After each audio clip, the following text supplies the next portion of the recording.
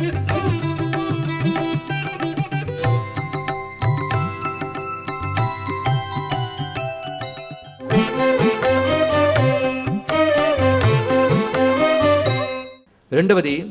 అసమీపగతంచ ముక్తేహి తర్వాత మాట.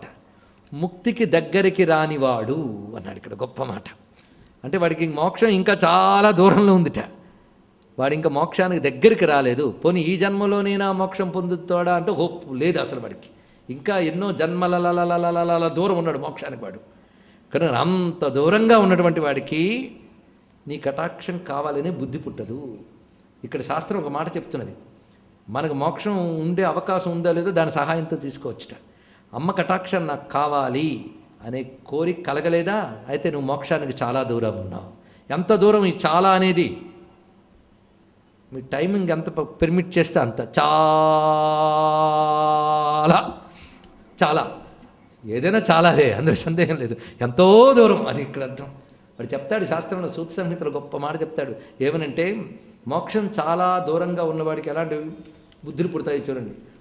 విభూతి ధరించాలి అనిపించదు రుద్రాక్ష ధరించాలి అనిపించదు పొద్దున్నే లేవాలి అనిపించదు భగవత్ సాధన చెయ్యాలనిపించదు. భగవత్ గ్రంథముల మీద యావగింపు కలుగుతుంది. ఇలాంటి లక్షణాలు కానీ ఉంటే వాడు మోక్షానికి చాలా చాలా చాలా చాలా దూరంలో ఉన్నాడు. నరకానికి చాలా చాలా చాలా దగ్గరగా ఉన్నాడు అని శాస్త్రం చెప్పిందండి.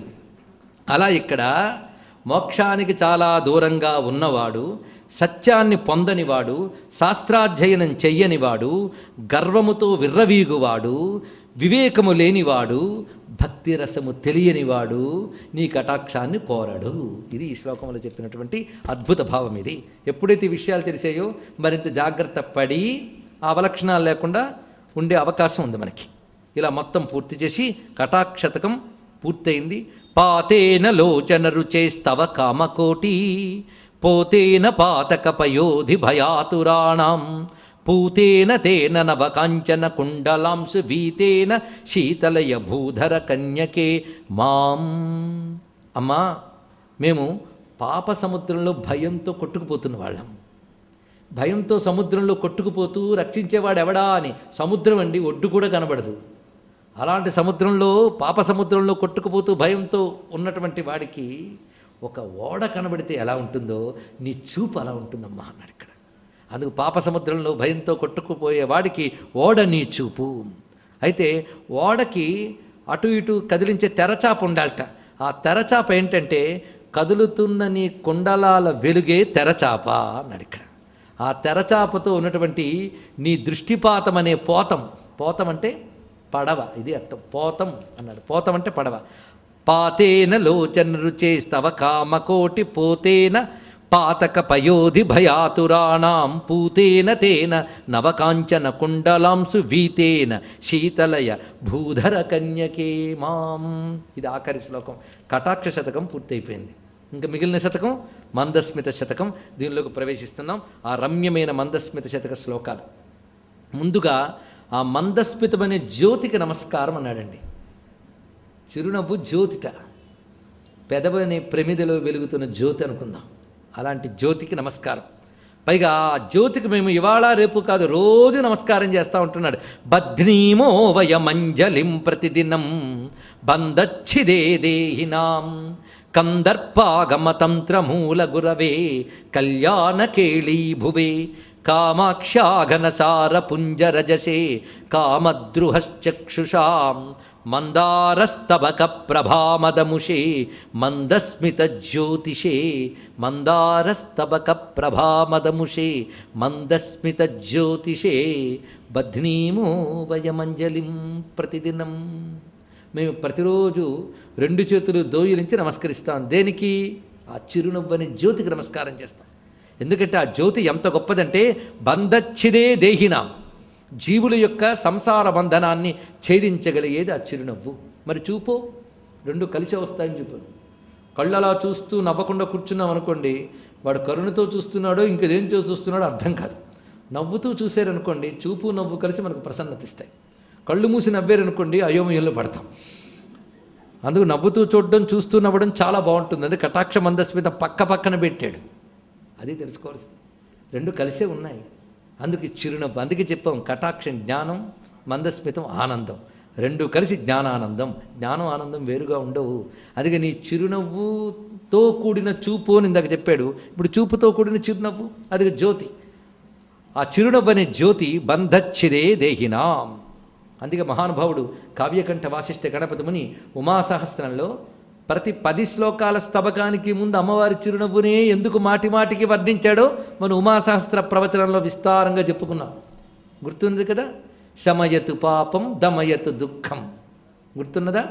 అది హరతు విమోహం ప్రధయతు శక్తిం స్ఫుటయతు బోధం మందం హసితం మనసి జచాసన కుల సుదృశోన ఎంత అద్భుతంగా చెప్పాడు మహానుభావుడు.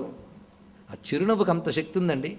అందుకు మందచ్చిదే దేహినాం కందర్పాగమతంత్రమూల గురవే కళ్యాణకేళీ భువే ఆ చిరునవ్వు బంధములు ఛేదిస్తున్నది. రెండవది కందర్పాగమతంత్రమూల గురవే చాలా గొప్ప మాట అండి కామతంత్ర విద్యకి మూల గురువు ఆ నవ్వు అన్నాడు ఇక్కడ.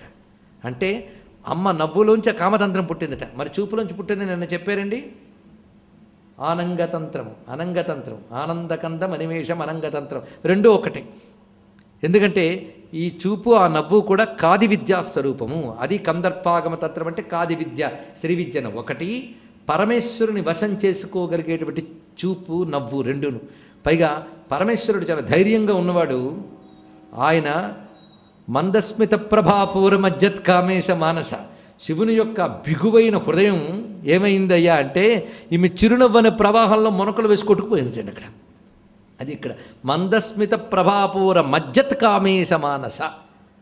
అంత ధైర్యంగా కూర్చున్న శివుడు అమ్మవారి చిరునవ్వు అనే ప్రవాహంలో మునిగిపోయాడు అన్నాడు ఇక్కడ. ఆయన మనస్సు వేస్తుంది ఇక్కడ. అందుకు శివుని మనస్సును మనకులు వేయించేటువంటి సమ్మోహన శక్తి కలిగిన నవ్వు గనకనే కందర్పాగమ మూలతంత్ర గురవే కళ్యాణ కెళీభువే. అద్భుతమైన మాట ఇది. కళ్యాణకరములైన లీలలకు అది మూలము అన్నారు. అంటే నవ్వు లీలను తెలియజేస్తుందండి అదొకటి. ఒక నవ్వు నవ్విందంటే లీల అది. అంటే ఏ వికారము ఏ వేదన లేని ఒక అలవోకగా చేయగలిగేటటువంటి శక్తిని తెలియజేస్తుంది నవ్వు. అందుకే కళ్యాణకేళీ భువే మరొక అద్భుతమైన మాట వేశారు ఇక్కడ. చిరునవ్వు తెల్లగా ఉంటుంది కదా? తెల్లగా చల్లగా ఉంటుంది. తెల్లగా ఉండే పచ్చకర్పూరం ఒకటి ఉంది. పచ్చకర్పూరానికి చల్లదనం కలిగించే శక్తి ఉండేదిటండి అందుకే కంటి మంటలు మొదలైనవి వచ్చినప్పుడు పచ్చకర్పూరాన్ని ఒక ఔషధంగా వాడాలి అని చెప్తారు శాస్త్రములు. అందుకేనేమో వెంకటేశ్వర స్వామికి పచ్చకర్పూరపు ఇది తిలకం పెడతారు స్వామివారికి. అది విశేషం ఆ పచ్చకర్పూరం పచ్చకర్పూరపు ధూళి ఒకటి ఉన్నది. ధూళి అంటే పొడి. అన్నమాచార్య కూడా వర్ణిస్తాడు. ఆ కర్పూరపు ధూళి అని వర్ణిస్తాడు. ఒక పరి ఒక పరి వయ్యారమయ్య అనే కీర్తనలో వర్ణించుతాడు.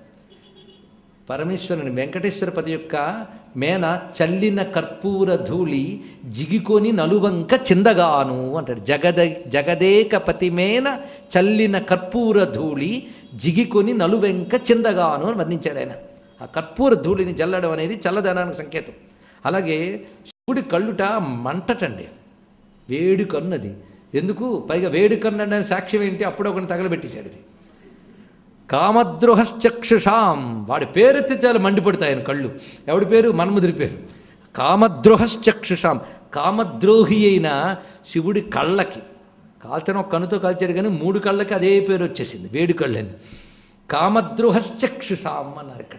అంటే కామద్రోహి అయిన శివుడి కళ్ళకి ఈ అమ్మవారి నవ్వు ఎలా ఉన్నదంటే ఘనసార పుంజ రస రజసే అన్నారు ఇక్కడ. ఘనసారం అంటే గడ్డకర్పూరం ఇదే అర్థం. అలాంటి అది ఘనసారం కూడా తెల్లగా ఉంటుంది పచ్చకర్పూరము ఘనసారం అలాంటి ఘనసారపు పొడివలే ఉంది అమ్మవారి చిరునవ్వు. అంటే ఈ చిరునవ్వు చూడగానే నా కళ్ళు చల్లబడుతున్నాయి ఇక్కడ. ఎప్పుడు వేడిగా చూసే శివుడు కళ్ళు అమ్మవారి నవ్వు చూడగానే చల్లబడిపోయేట. అందుకే అమ్మవారిని పక్కన పెట్టుకుని అయ్యవారికి దండం పెట్టడం మంచిది. చల్లగా చూస్తాడు ఆయన.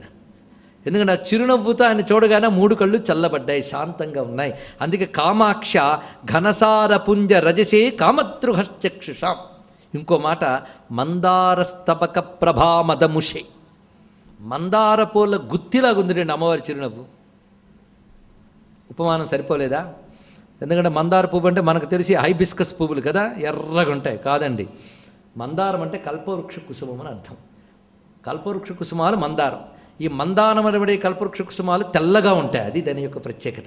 అందుకే మందార స్తబకం ఒక్క పువ్వు కాదండోయి పూల గుత్తి. మందార పువ్వులు అంటే కల్పవృక్ష కుసుమాల గుత్తి యొక్క పొగరుని అణచివేసే నవ్వుటిది. అంటే అంతకంటే గొప్పగా ఉన్నాయని చెప్పడం. ఎందుకు వాటితో పోల్చారు అంటే కల్పవృక్షం ఏది కోరుకుంటే అది తీర్చుతుంది. అలాగే అమ్మవారి చిరునవ్వు ఏది కోరుకుంటే అది తీర్చుతుంది. దానికంటే గొప్పదని ఎందుకు చెప్పారంటే ఆ కల్పవృక్షం కోరికలు తీర్చగలదు కానీ మోక్షాన్ని ఇవ్వలేదు. కానీ అమ్మ నవ్వు మోక్షాన్ని ఇవ్వగలదు. అందుకే ఇక్కడ మాట మందారస్తవక ప్రభా మదముషే మందస్మిత జ్యోతిషి.